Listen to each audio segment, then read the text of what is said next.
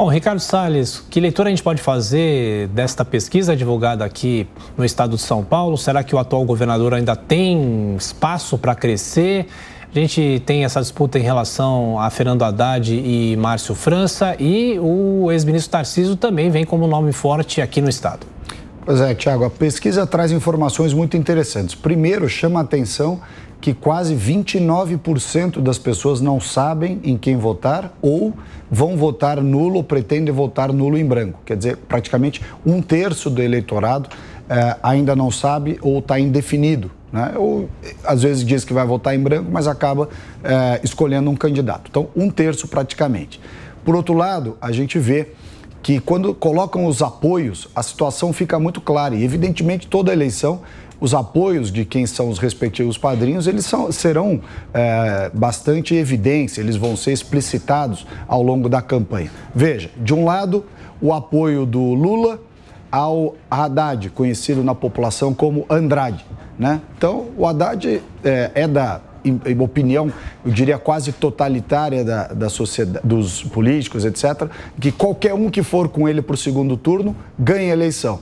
Porque o PT tem uma ter uma faixa garantida de votos, mas, por outro lado, tem uma resistência também assegurada muito grande aqui no estado de São Paulo, principalmente no interior, onde as pessoas não votam no PT de jeito nenhum para governador de São Paulo. Portanto, o, Andrade, o Haddad, pode ter o apoio do Lula que quiser, que daquele teto ele não passa.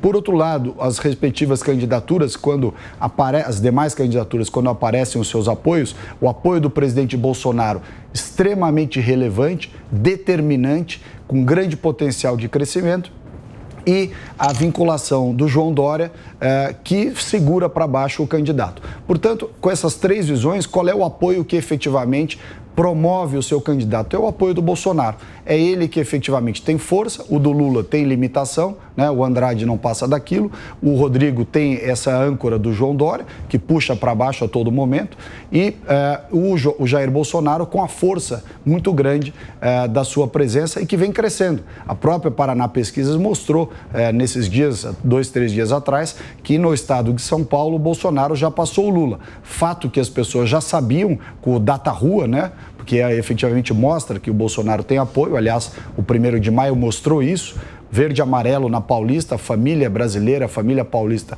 toda na Paulista e meia dúzia de gato pingado de mortandela lá uh, no lá no estádio do Pacaembu, que nem com o show da Daniela Mercury uh, conseguiu levar gente para aplaudir o Lula. Portanto, está claro quem é que tem força de verdade. Diogo, por que será tantos brancos e nulos nessa pesquisa? O apoio de Bolsonaro a Tarcísio deve fazer a diferença nessa campanha? E você acha que França e Haddad ainda se unem para tentar mais força na disputa?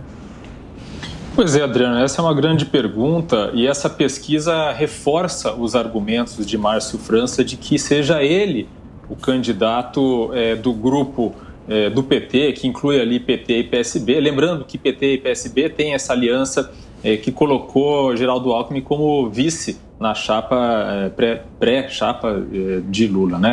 Então, o Márcio França vem dizendo justamente isso, que num eventual segundo turno, ele tem muito mais chances de vencer Tarcísio ou Rodrigo Garcia do que Haddad, justamente por causa da rejeição ao PT em nível estadual. Então, ele vem argumentando que como opção é, frente a Tarcísio ou Rodrigo Garcia, ele receberia o voto da esquerda, mas também receberia votos do centro que são antipetistas, mas que não têm tanta é, resistência ao nome dele. Ele que foi é, governador e ele que na disputa para a prefeitura de São Paulo, por exemplo, tentou inclusive angariar votos é, de bolsonaristas, né? Que, lembrando que Celso Russomano teve ali um derretimento nas pesquisas, chegou um ponto que Márcio França até mesmo tentou se aproximar do presidente Jair Bolsonaro para angariar esses votos. Então ele usa justamente esse argumento.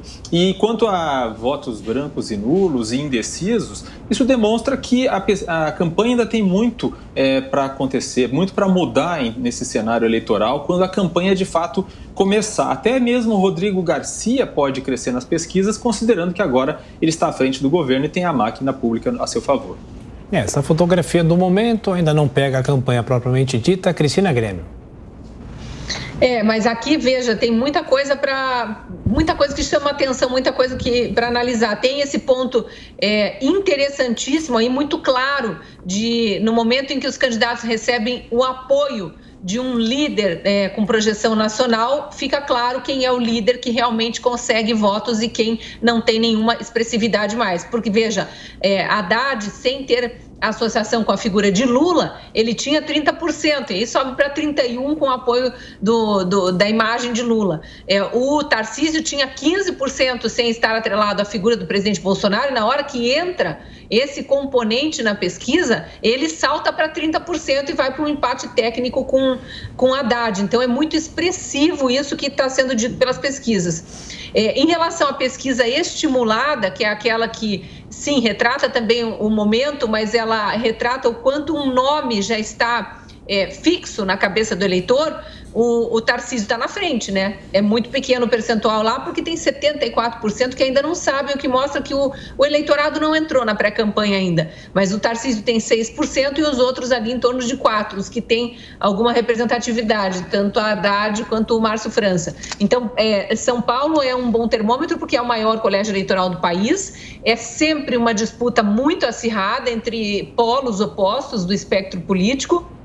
Mas a gente está vendo aqui claramente que o ex-ministro Tarcísio chega com muita força nessa campanha.